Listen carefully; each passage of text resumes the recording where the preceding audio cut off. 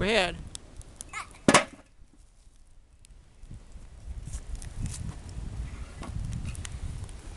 It like. Get it in there. Pick it up. You can lift it up.